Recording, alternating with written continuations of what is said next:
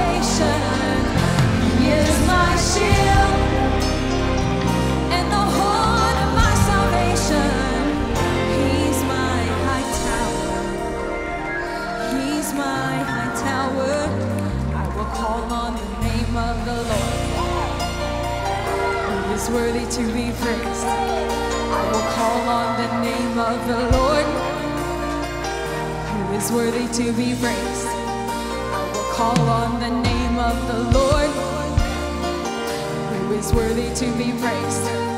I will call on the name of the Lord, who is worthy, who is worthy to be praised. I will call on the name Jesus.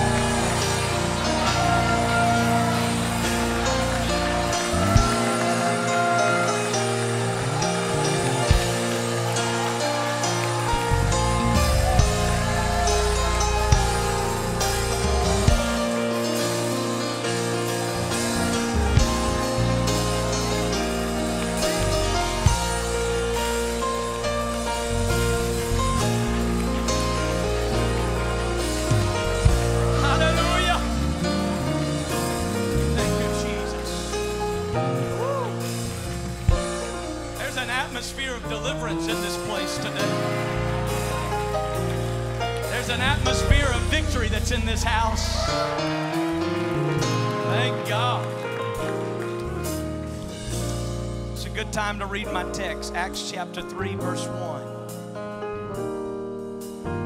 How many of you believe that it's not going to stop with worship? God's getting ready to perform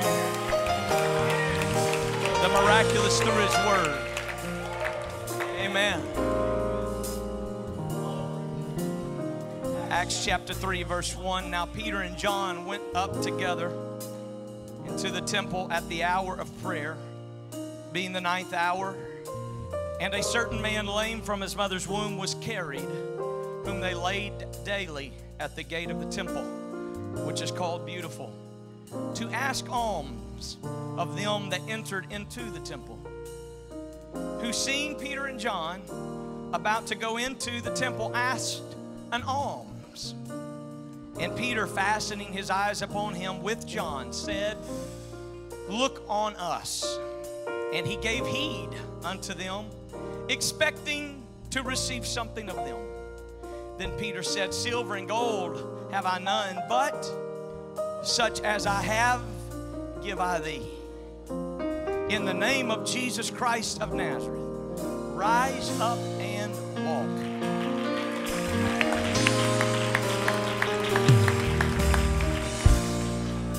And he took him by the right hand and he lifted him up. And immediately his feet and ankle bones received strength.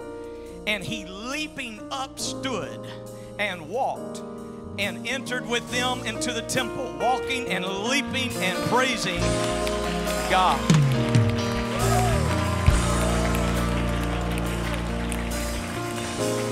I want to preach to you for a few minutes the help of the Lord on this subject.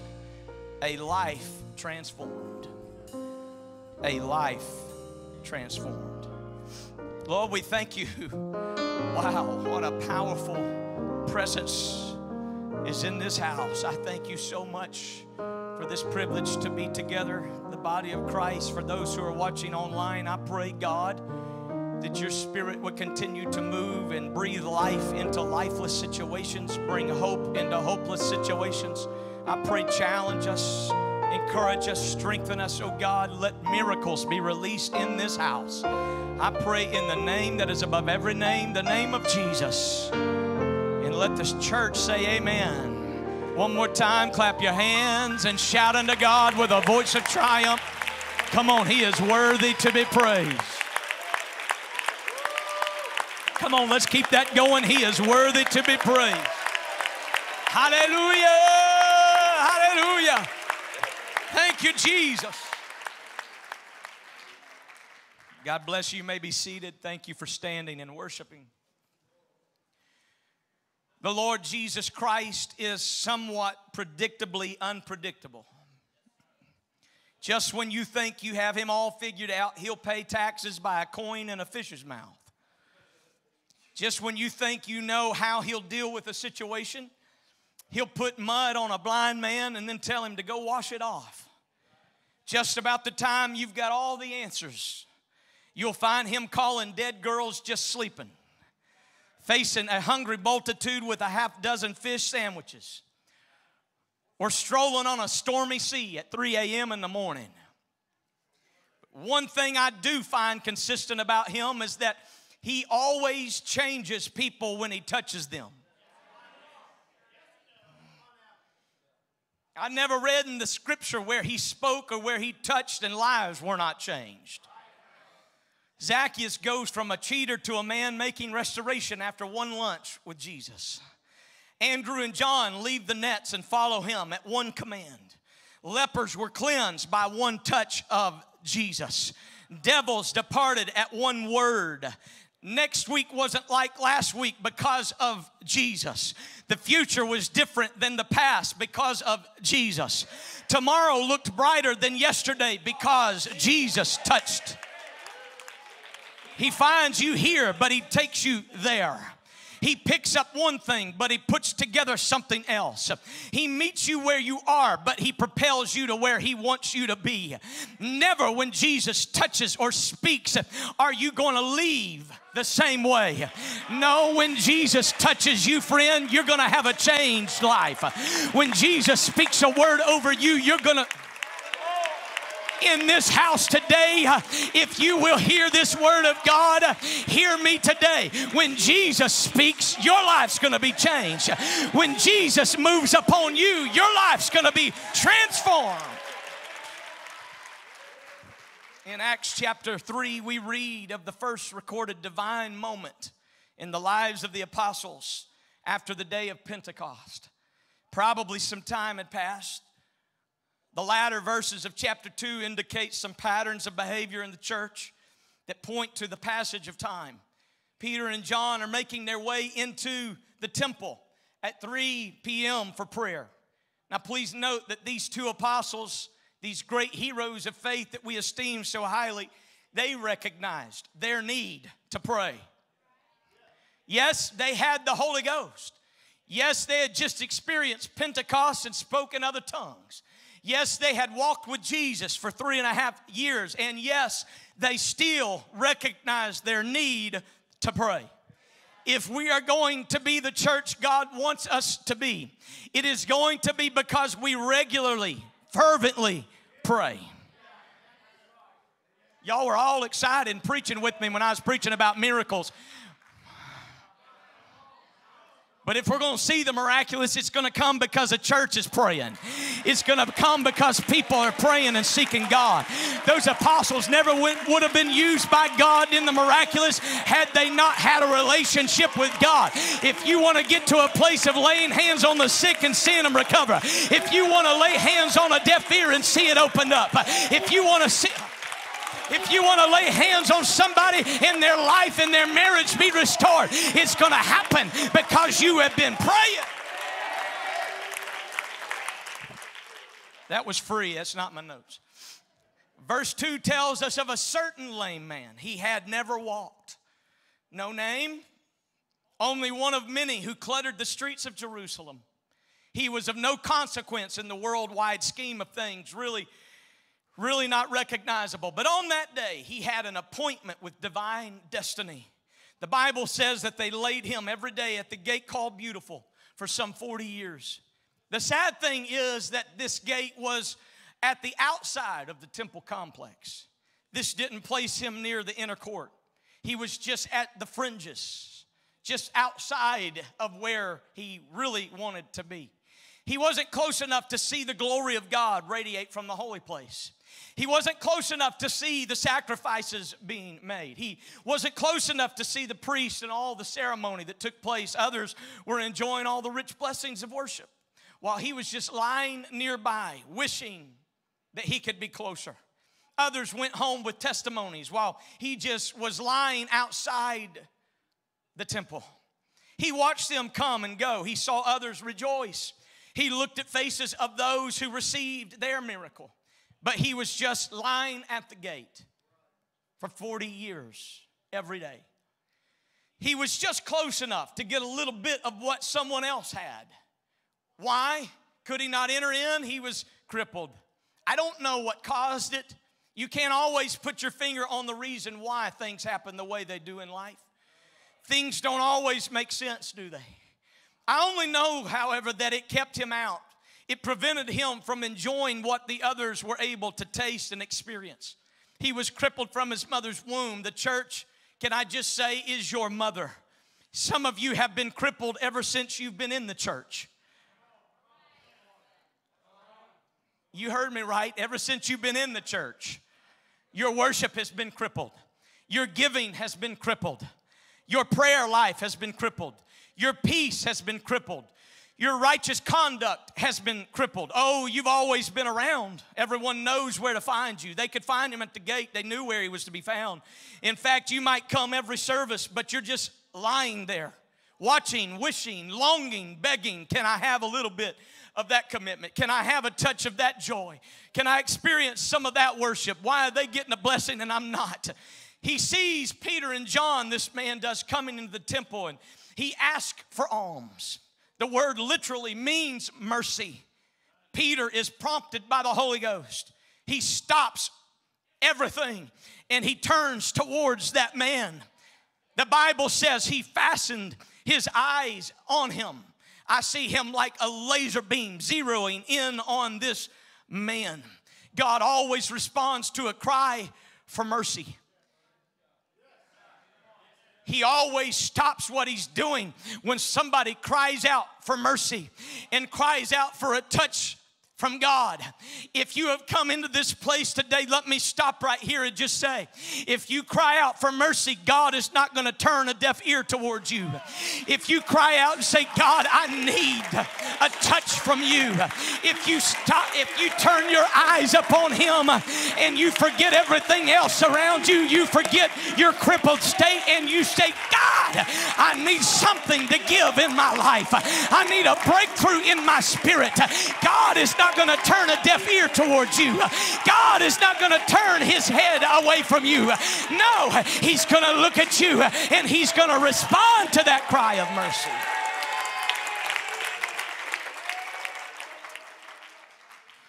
Let me say right here also, someone in here has caught God's attention today. He has his eye fastened upon you. He saw you when you made that decision to come to the house of God today.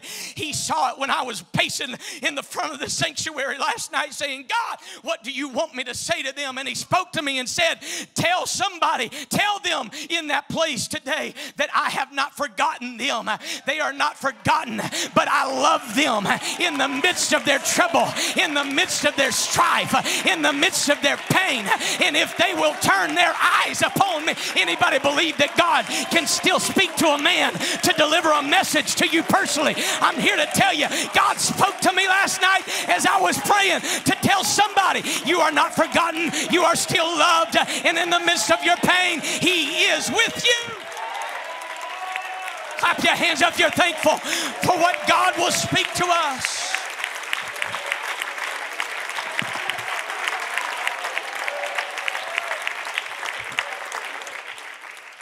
His eye is fastened upon you. Do you really think you've lost him or that he's lost you?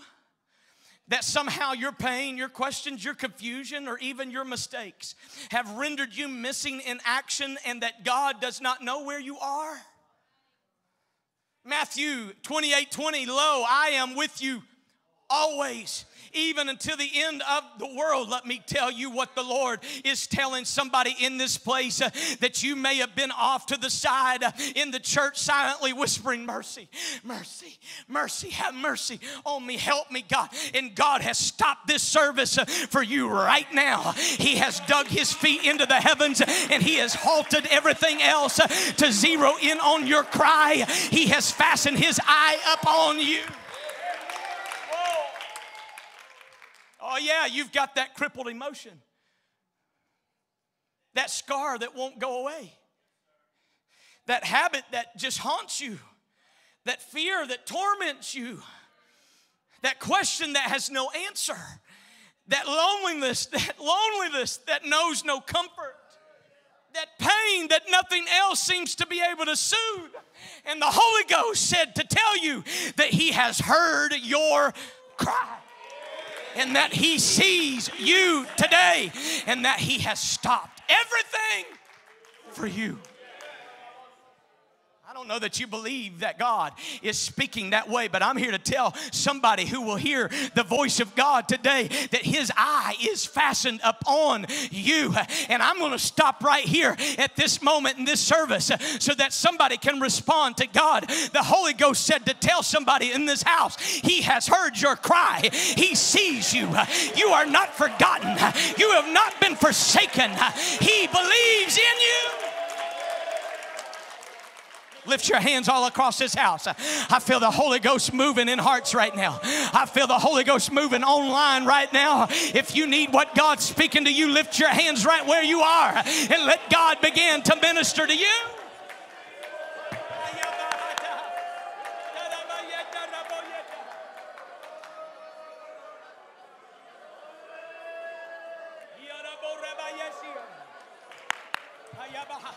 Come on, somebody walked into this place hurting. Somebody walked into this place broken. Somebody walked into this place with suicidal thoughts. But He wants you to know you are not forgotten. You have not been forsaken. He loves you. He cares about you. And He's got a purpose for your life. Somebody needs to fasten your eyes upon him. Come on, somebody in this house needs to get your eyes off of your problem, off of your crippled state, off of your crippled emotion, off of your hurt and your pain, off of your offense. And you need to get them on Jesus.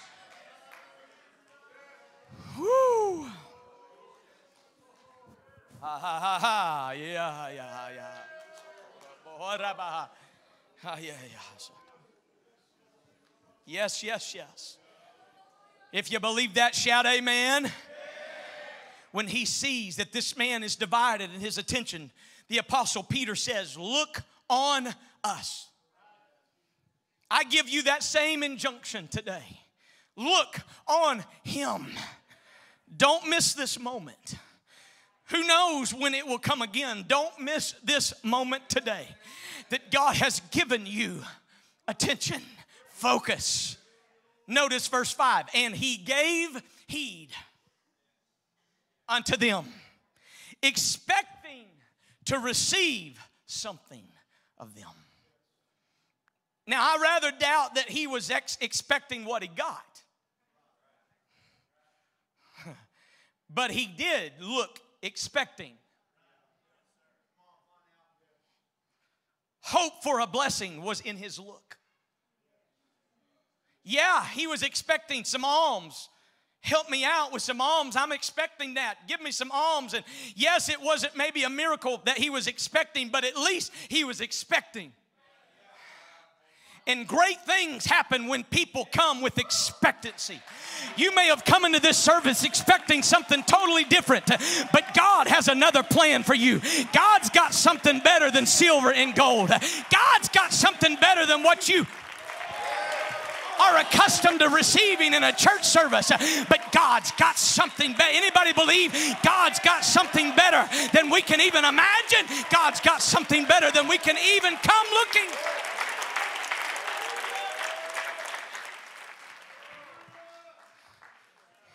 He looked with expectancy. He heeded to their voice. Boy, that's a good lesson for us, isn't it? Heeding to his voice. He heeded to their voices and he expected to receive something of them. When you look at him, expect something. I expect miracles today. When I prayed for this service, I came into this house expecting miracles today. I expected comfort to be in this house today. I expect deliverance to be in this place today. I expect a Holy Ghost outpouring in this house upon people who have grown cold and weary and tired in their spirit. There is a new thing that God wants to do in you. There is a new thing that God has in store for you. I hope you haven't come with your hands folded saying, I hope they preach me into the altar, but you come with expectancy. It's saying, God, whatever you want to do, I'm open. I want it. I hadn't come to play patty cake church in this hour in which we live in. We can't afford to just come and go through the motions. We're living in the last days. We need miracles in this house. We need miracles in families. We need miracles in marriages. We need miracles in bodies and in minds. If you agree with that, will you clap your hands and shout amen?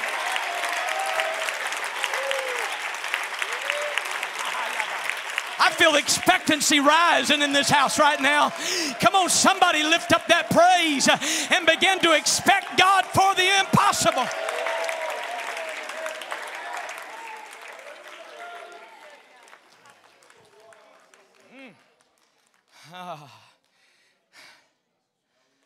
I expect it. I'm looking at him.